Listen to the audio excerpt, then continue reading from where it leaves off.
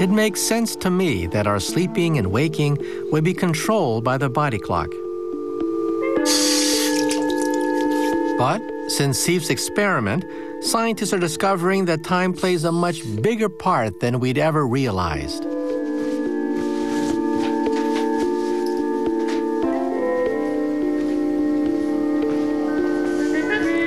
And over the next 24 hours, I'm having a series of tests to find out. You must be uh, Benita, right? Yes, I am. Yes. I see. So you'll be the one administering this battery of medieval tortures, I understand. Hopefully not that bad, Michio. No, what we're going to be doing today is looking at all the things within the body which change across the day, but aren't as obvious as things like the sleep-wake cycle, which everybody knows. Pop that into your mouth, chew on it for a bit, see how far forward. Benita's going to look for the effects of time in everything my stress hormones, Okay, thanks very much. My flexibility, as hard as you can. even my muscle strength. You tell me when it hurts. Huh? Beginning to hurt. Stop. Okay. Time runs through every aspect of our bodies. According to Benita, it affects just about everything we do.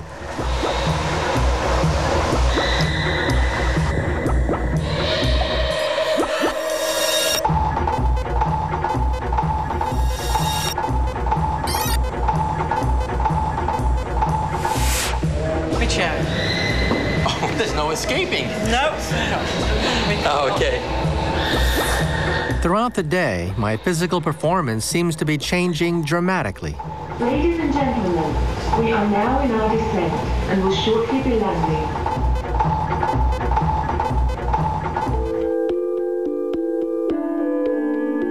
So at last, 24 hours after the test began, I'm going to find out just what was going on. Oh, hello, Michio. Nice to see you again. Right, hi. So, shall we have a look at some of the results Yes, I'm we got dying the to find day? out what happened Right. after being put through the ringer. Well, that's right. So we'll start off with the saliva samples that we took. Mm-hmm. You remember that was to look at cortisol. How can I forget? Yes, mm-hmm. which is a hormone related to stress, and it has a daily rhythm. Now, now look at that. I would have thought it would be at the bottom. You know, you're rested in the morning, you're groggy. I would have thought that you're unstressed. Yes, maybe your stress levels aren't high, but the, the levels of cortisol are high, mm-hmm. so that when you get up in the morning, you should be wide awake and able to go and do I things. See. So this is basically our evolutionary cup of coffee, then, right? Yes, that's right. Yes, This is what gets us going in the morning. Yes, it helps. I see. it helps Uh-huh. indeed. Mm-hmm. Dramatic. So it turns out that almost all our body processes follow predictable cycles. I mean, you've got a very They are controlled by time. So tell me now, how did I do on the pain test? You can see a difference between the morning and the afternoon. Yeah, quite dramatic. Look at that. Yeah. Why is it that the pain threshold changed in my body during the day? It's quite dramatic. Yes, it is, and it's because the nerves are less sensitive later on in the day, Mm-hmm. so that it takes more to excite them to send the message to the brain to say "ouch." well, if we get the strength up, you can see here what we were Uh-huh. actually measuring because And all these different processes are governed by one master clock, back muscles. Mm-hmm. a central timer that orchestrates every bit of our biology. Pulling was it was using your leg muscles and your back muscles. Mm-hmm. So all of these parameters that we've measured today, the rhythms are all controlled from one small group of cells which make up something called the suprachiasmatic nucleus, which is buried right in the middle of the brain. And this is where the master clock is, deep within our brains. A cluster of only 20,000 cells, no bigger than a pea. An organ of time that synchronizes every process in the body.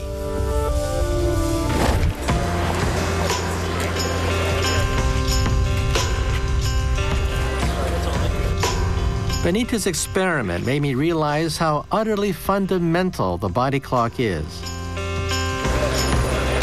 If it goes wrong, we're thrown completely out of sync with the entire world around us.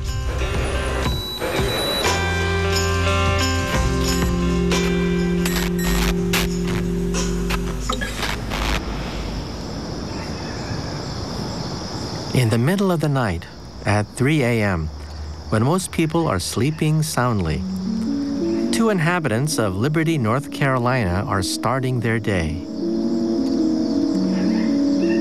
My daughter and I have always gotten up early.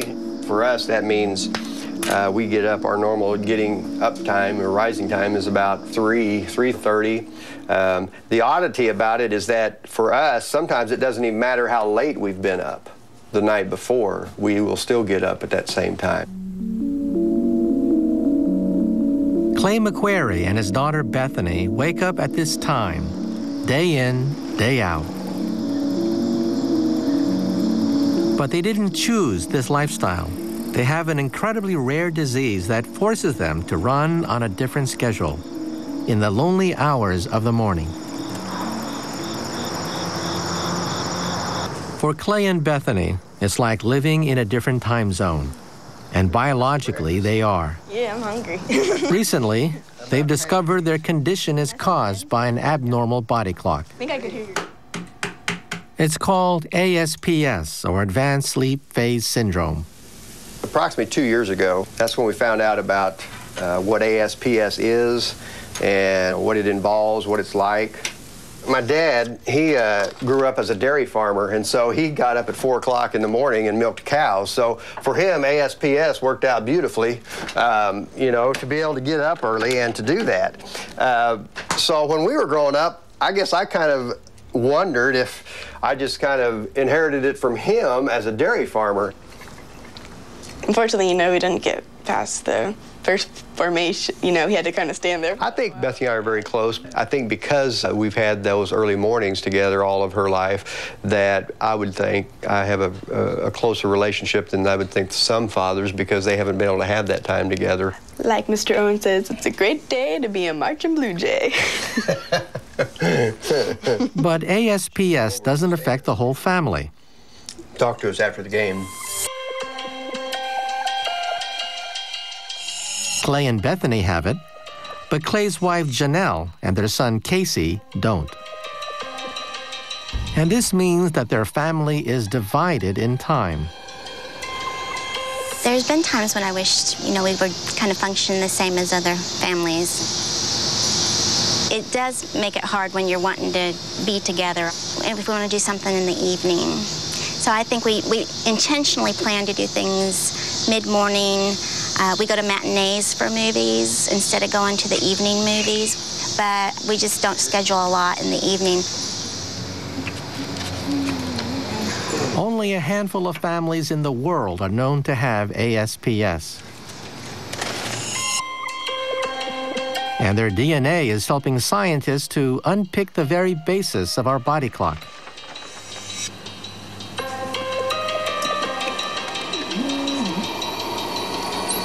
It turns out that our body's time is controlled by just a few genes. And a single mutation on a single gene is enough to cause it to go completely adrift. Studying these genes has revealed something quite extraordinary.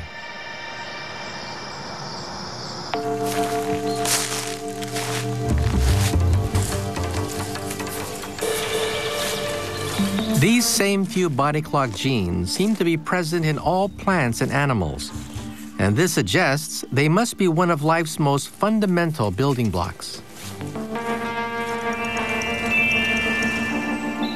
For me, I find it absolutely astounding that the biological clocks ticking away in my body are about the same.